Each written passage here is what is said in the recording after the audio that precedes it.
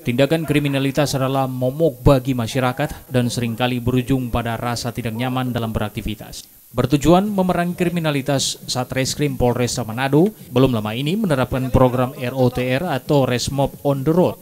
Program tersebut bertujuan untuk meningkatkan respon cepat terhadap aduan warga untuk tindak atau potensi kriminalitas melalui siaran langsung di media sosial saat petugas melakukan patroli di Jalan Kota Manado. Kasat Reskrim Polresta Manado Kompol Sugeng WS mengatakan warga bisa memberikan informasi secara langsung atas tindakan kejahatan atau yang berpotensi menyebabkan aksi kriminalitas di Kota Manado yang dipantau langsung oleh anggota polisi di lapangan.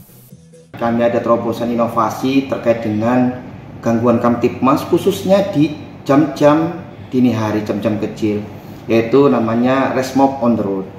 Ini adalah konsep patroli yang disertai dengan kegiatan memberikan pelayanan melalui media sosial. Konsepnya ketika anggota berpatroli mengunjungi tempat-tempat yang di daerah rawan gangguan kamtipmas yang yang berdasarkan data yang kita miliki ada beberapa wilayah contohnya di daerah Wenang yaitu di Mahakeret kemudian di Singkil di Ternate baru itu beberapa daerah yang wajib kita patroli.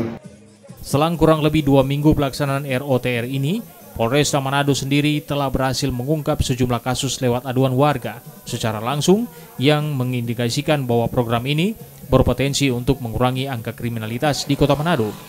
Edward Siwi Jimmy Dapar, Kompas TV Manado, Sulawesi Utara.